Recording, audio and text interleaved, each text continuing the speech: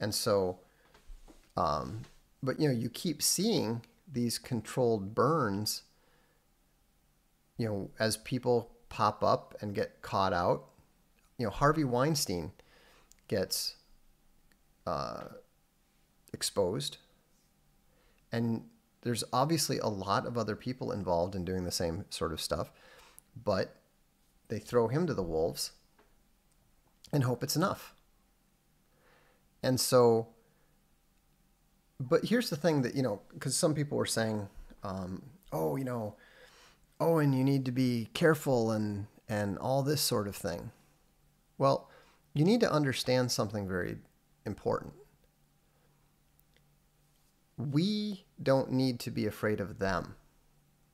They are terrified of us because we outnumber them sizably, considerably. We could end them all tomorrow if we chose to do so, and they know it. Think about all those events where there's all the fans and all the all the people around and there's 20 people on the red carpet. Well, right now, those people are all cheering them, right? But they know that those people could just as easily be tearing them to pieces with their bare hands if they wanted. They don't want to right now. But the whole reason that they speak in symbolism, the whole reason that they talk like this, the whole reason that, that, that they act subversively is because they can't act openly. We can say these things because we speak the truth. We are capable of operating in the light because we do not have any of that sort of wickedness to hide. I'm not saying that I'm perfect. I'm not saying that Owen is perfect. I'm not saying that anybody is perfect. We, we know everybody is not perfect. But there is a huge difference between a fallen man who is repentant and who is dedicated to pursuing the truth and following the way of Jesus Christ to the best of his ability, and those who are completely dedicated or at least completely caught up in the web of wickedness for which they have sold their soul. Because understand, all of those people have sold their souls. That's why they're caught up in it. That's why they have to pay the price when they become expendable. You know, um, you know, and and the thing is, everybody knows like why is why is Donald Trump safe?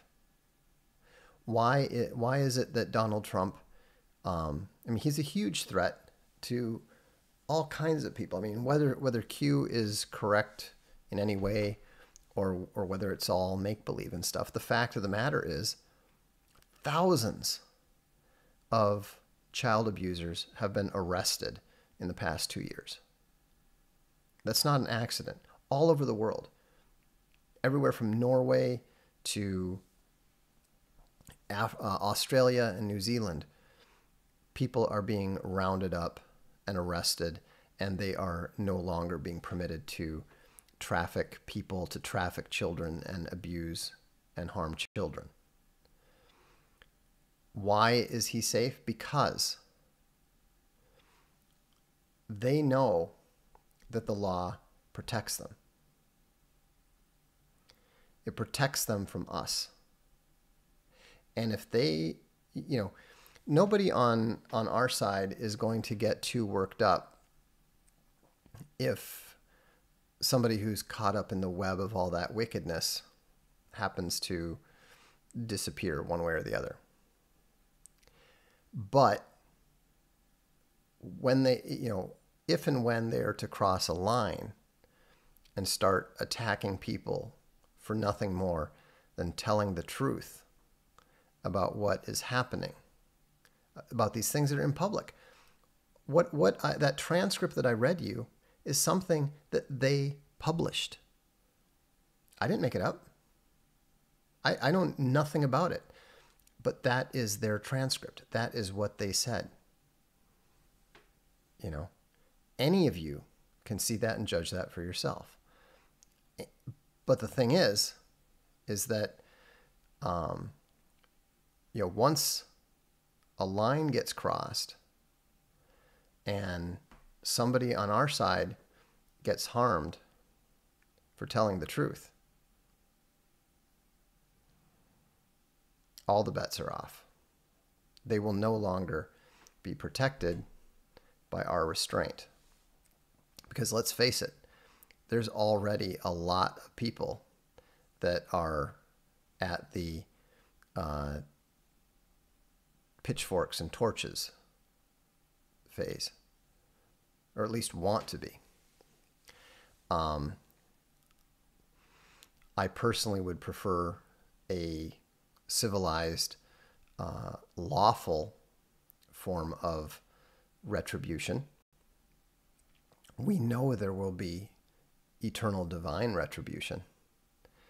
But the fact of the matter is is that this this kind of evil is pervasive. Hollywood is the worst of it, I think. But we know that it exists in all these or not in all organizations, but in many many of these organizations because as the late great Jerry Pournelle said, people in organizations tend to prioritize protecting protecting the organization. That's why you see this this horrible hiding of abuse in the Southern Baptist churches. You see this ridiculous attempt to protect priests, the people who should be the very last people on earth to harm a child. I mean, it, it, it boggles my mind that any Christian institution would protect any Christian individual who harms a child, especially in a sexual manner, considering what Jesus Christ said about it. It would be better for those people to tie a millstone around their neck and throw themselves in the ocean than what they're going to face. And you're going to go against